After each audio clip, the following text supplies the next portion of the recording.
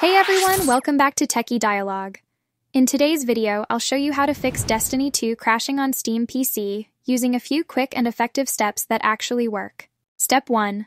Open your Steam library and right-click on Destiny 2. Select Properties, go to the Installed Files tab, and click on Verify Integrity of Game Files. This checks for missing or corrupted files and replaces them automatically. Step 2. Still in the Properties window, click on Browse to open the game folder. Find the main Destiny2.exe file. Right click on it, choose Properties, then go to the Compatibility tab and check Run this program as administrator. Then click Apply and OK. Step 3.